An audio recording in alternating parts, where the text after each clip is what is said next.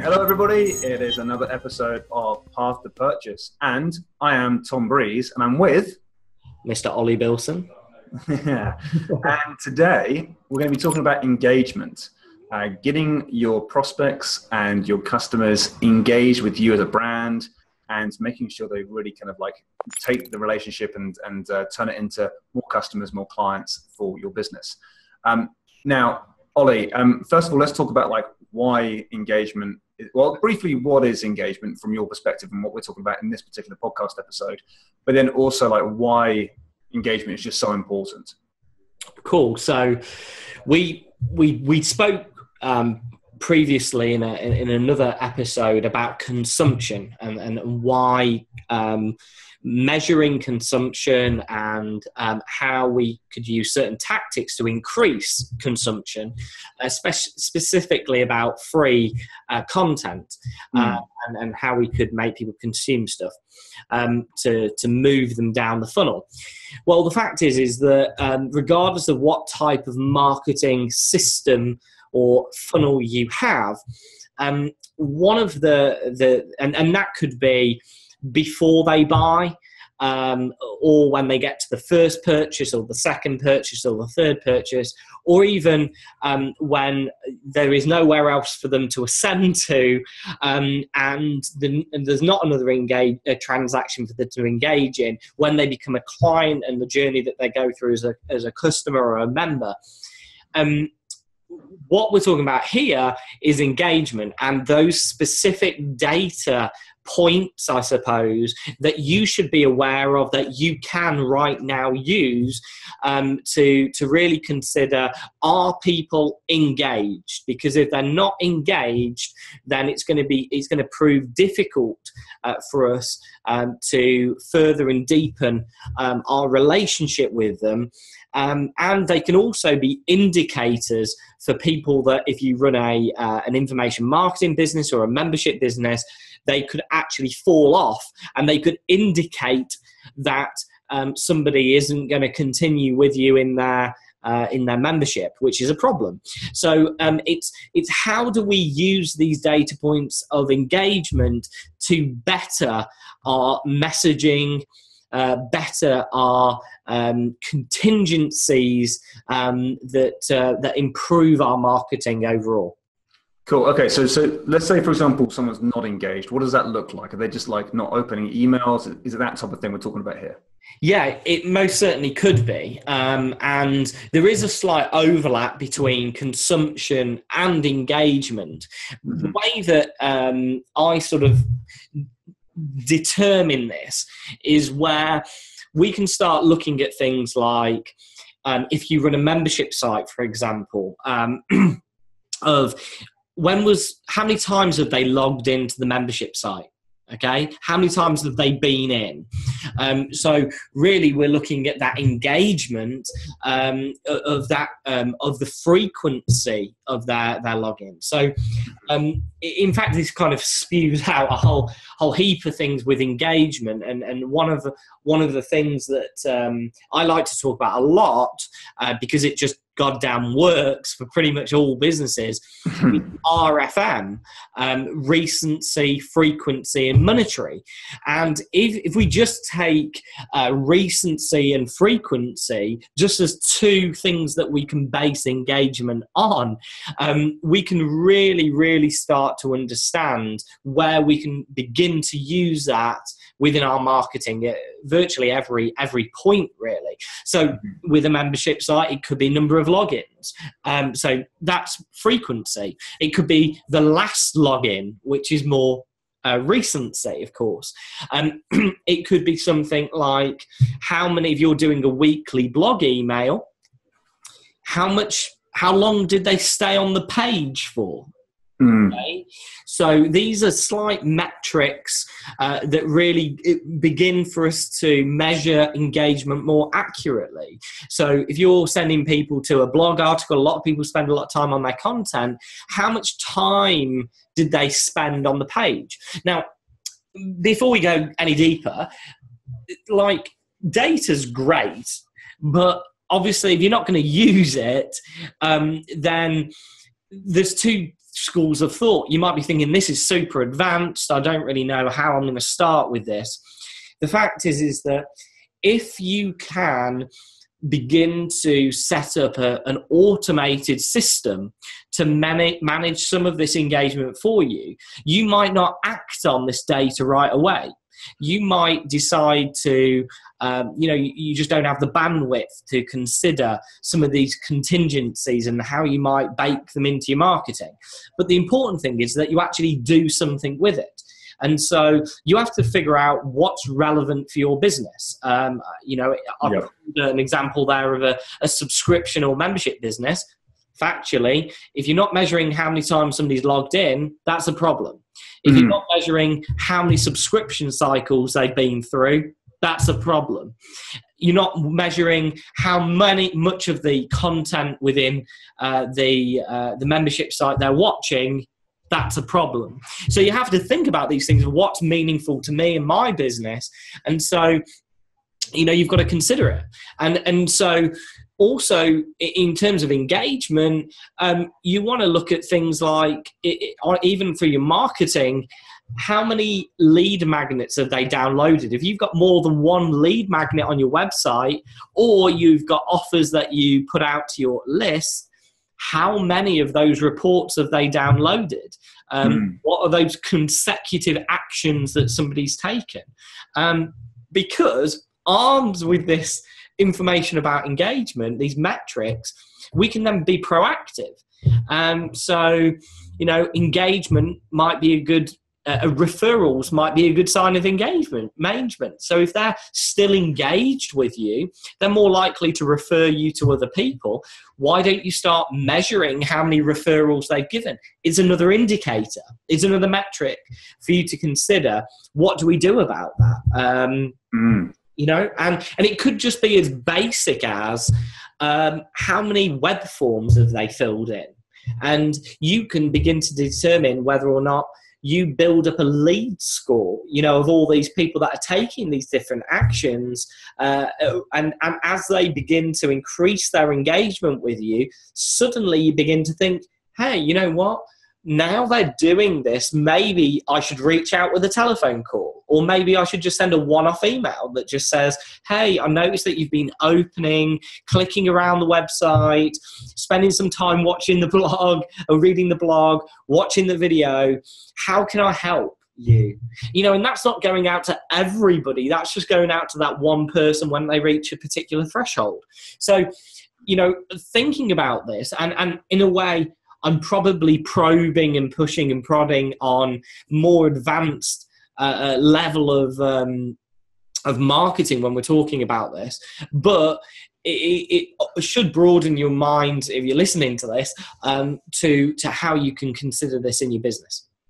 Cool. Okay, I love this because it's like you it's sometimes the hidden metrics that can be kind of like opened up to you and you can just display them and see them straight away and, uh, and i love the idea of like automating some of that process as well so should someone um, be displaying that they are kind of like um, like kind of going to a particular website and logging in frequently um, and the last time I logged in was very recent as well. And they're kind of like, so you know they're really engaged in what your content is about.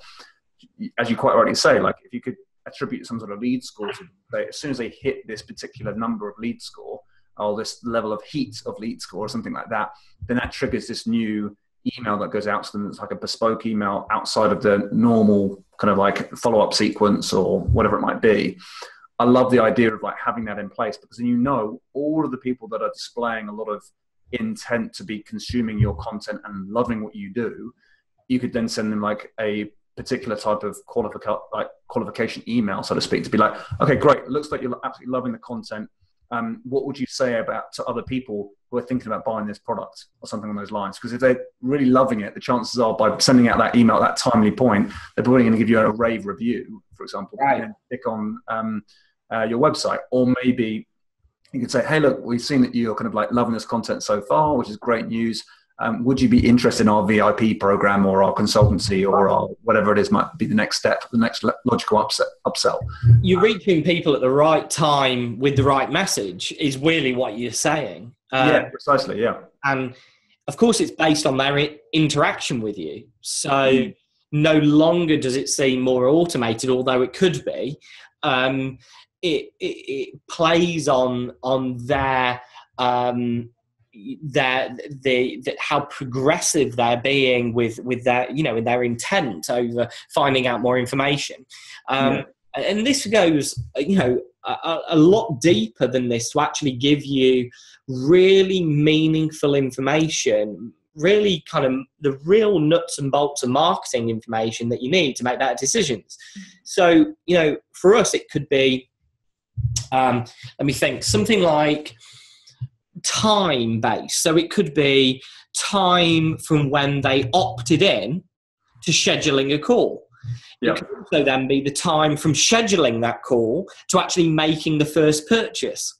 So again, it's giving you those little micro insights into where people are and how engaged they are based on their activities.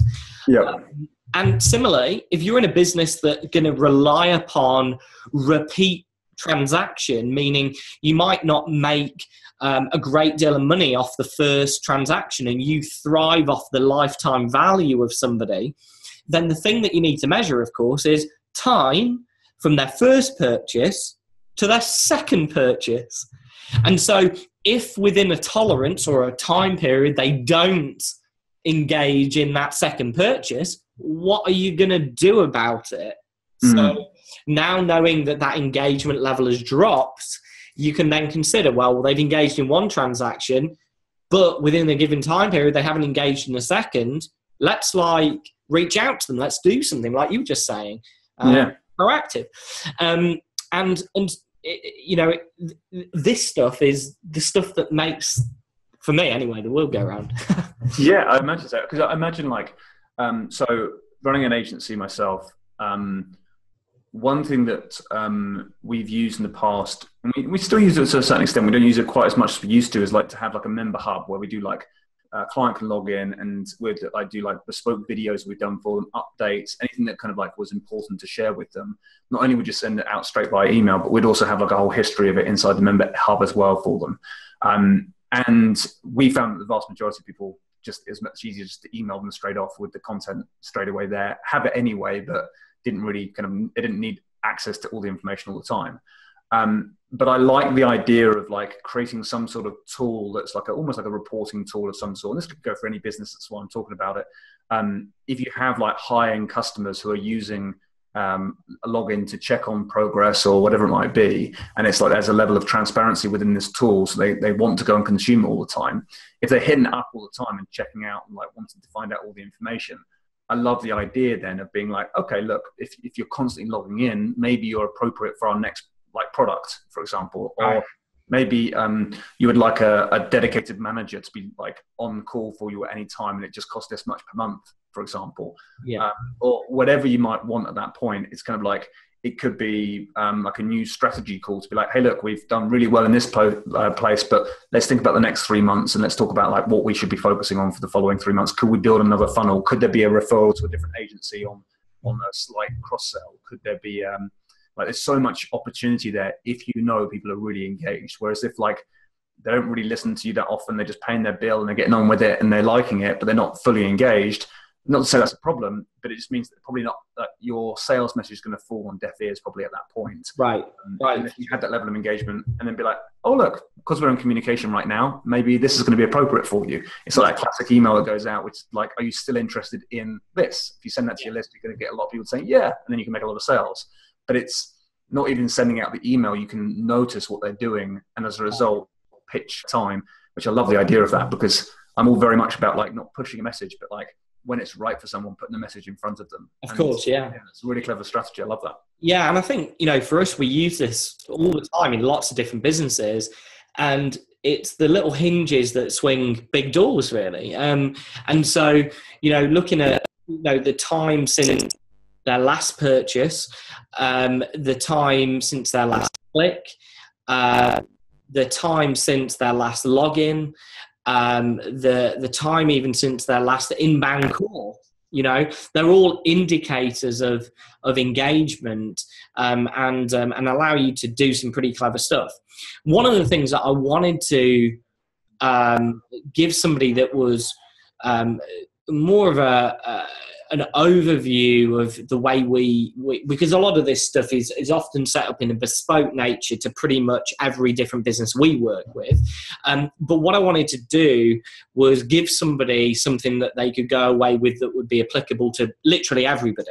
Mm. Um, and so I wanted to talk a little bit about how we track engagement within emails. And um, we've kind of got a, um, a, seven um, steps to this process really um, in order to make uh, this right uh, and work for pretty much everybody that's doing any kind of email marketing or has a, a database of, of people. Um, and, and the first is is to consider who is actually engaged on the list now, we use a tool to do this with. So, this isn't something that you can go and necessarily get off the shelf, but something that you can build within this framework yourself quite easily within most email autoresponders. So, the first thing we do is we consider who on our list out of everybody who is engaged. Yeah. Um, so, what, what does that mean? Well, that means that in the last 30 days, they've opened or they've clicked an email. Pretty okay. okay? So that's who do we consider to be engaged? The second is who um, who has not engaged in uh, over 30 days. So, oh, you know, they're, they're people that, that, that don't fall within that 30 day window. They fall outside of that 30 day window from 30 days to 60 days. So they're people that, you know, within um, 30 60 days have not engaged. Okay. In exactly the same frame. Have they not opened? Have they not um, uh, clicked? Etc. Then, who are the people that fall between 60 to 90 days? Okay.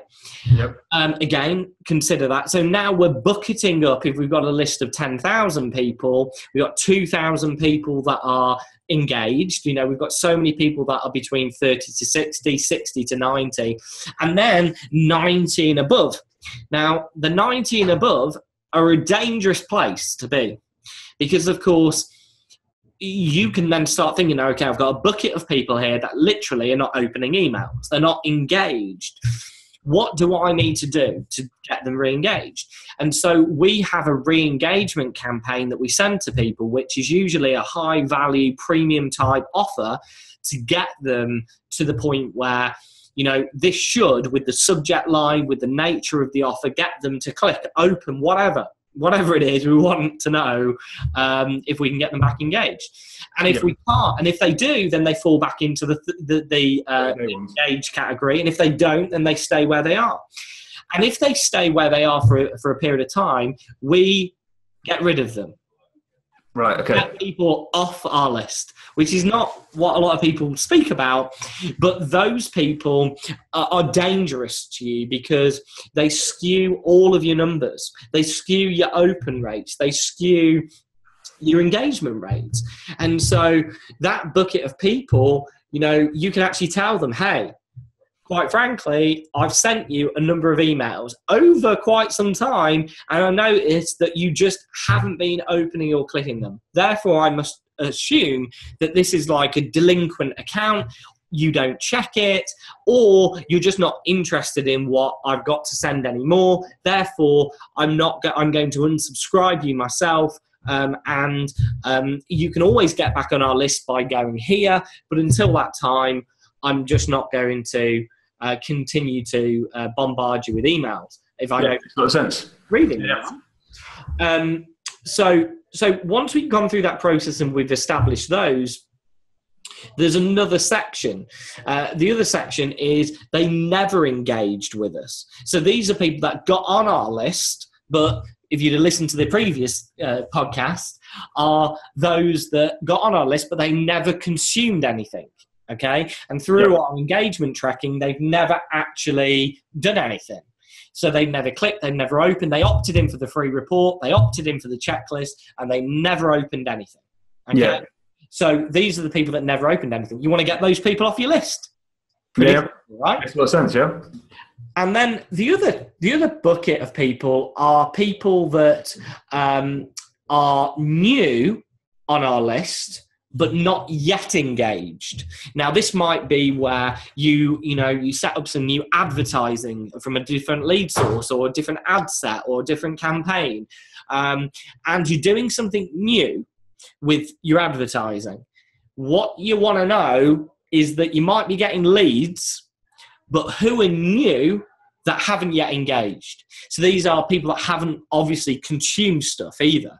So yeah this is a big, big thing because some lead sources lend themselves extremely well for lead generation, but actually don't lend themselves very well in terms of the, your offer, your promise, whatever it is, or the market to actually engage. They're just not engaging with it, right? They were interested in it, but for whatever reason, they're not interested in actually engaging with you uh, and consuming what you you know you wanted to give them.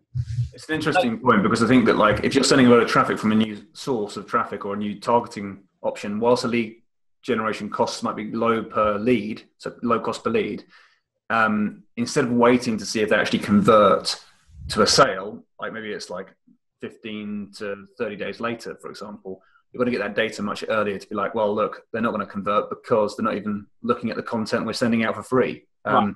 So, like, you might get like a dollar lead, for example, but whilst that lead cost is is low, they're never going to buy anyway. So it's just kind of like a low quality lead as well as a sure. cheap lead. Um, and some, I mean, I know that I've had this conversation with clients where from YouTube you tend to get like a, people have watched a video. It tends to be search traffic as well, so you get like really high quality search traffic who have also watched a video all the way through and then decided to convert onto their list. That audience has typically qualified itself so much more effectively than just like an image ad from a Google right. ad or a Facebook ad, for example.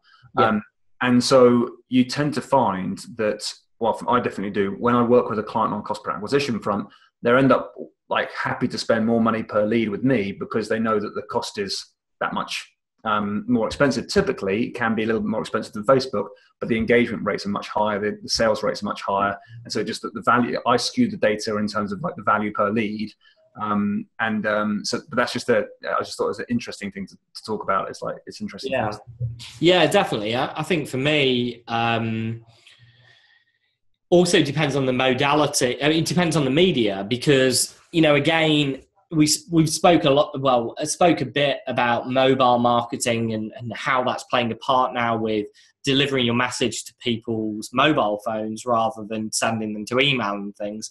Um, you know, just the same way as um, if what you have to offer means that they have to consume it or engage with it offline, mm-hmm. then you know you need to consider that because it might well be where you're advertising you might be getting leads but they're just not engaging with it because it's not their preferred way of engaging with it right yeah, yeah. Um, so you need to consider that so for me the big question for people that uh, kind of that, that, that, well the thing to do if you're listening to this is to consider then okay if these people fit into these different categories on my list um, what the hell do i do to to, to to do something with them.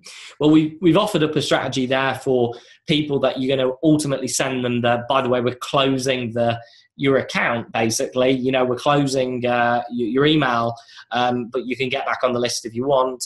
Um, we we need to carefully consider those people that are new on the list but not engaging. You need to look at the reason why.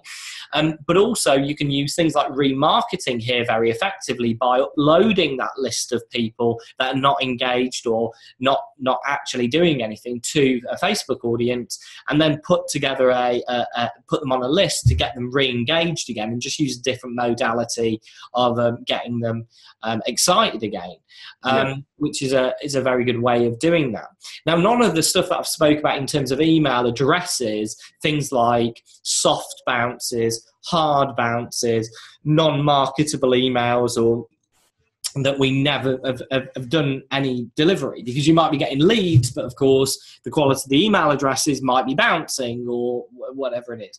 So again, that from a list hygiene perspective is another consideration. But but these are the things with an active list everybody should be doing. Even if you've got a small, small, small list, imagine what it would be like to see your list in all of its glory with seven these seven sections there showing you exactly where people are you would immediately make some decisions on what you should or could do to re-engage them uh, based on um, based on um, that information it's really interesting and i think if people were to categorize their, their email lists by that there's so many other things that I'm thinking from an advertising perspective, like if you use that to build a custom audience, for example, you're probably going to get a higher quality list uh, if you know these people are actually engaging with your content because you know that that fits into a certain type of avatar that will probably more engage and could get more customers for you as well. Um, but I love the fact that like based on how people are interacting with you as a brand or a company or, or a business, I love the fact that like if they're not like engaging the way that you have planned, there's contingency play, contingency plans in place um, to try and get them to, to engage further. Um, but if not, and they're not, they're not going to engage, you can clean that list, get rid of those people, uh, because then you know that you've got a much higher quality list. You're probably your email delivery rates are going to get better. The chance of you getting higher delivery rates going to be stronger. Like you won't get penalised from like sending out lots of spam, so to speak, in like someone like Infusionsoft's eyes for example. And I, and I, imagine like everything just runs a lot smoother if you can just start cleaning that list and then knowing how to interact with that audience as well. And um, and especially with that, I love that lead scoring idea as well. Should they be interacting? Let's offer something that's going to be relevant and appropriate for those people as well, uh, which I think is very clever. Yeah, I mean the beauty with this is that this can be set up as an automated system inside. Mm most platforms that you have so that you can automatically re-engage those people that are falling off uh, you can purge those people off your list that are not interested or not engaged so it doesn't skew things, doesn't hamper your deliverability. And the thing that a lot of people don't know is that um, email providers like Gmail actually measure uh, and monitor your engagement. And that will help your deliverability, it will create less spam, and you'll be more trusted in the inbox um, if what you're sending is to people that are actually engaged because it's getting much higher opens uh, than it would do otherwise. Oli, um, fantastic episode as always. Um, I love that engagement one. That's great. I'm going to be using some of that stuff straight away. Um, cool, cool. Thank you very much, and uh, look forward to seeing you on the next podcast episode. Thanks, Tom. Speak soon.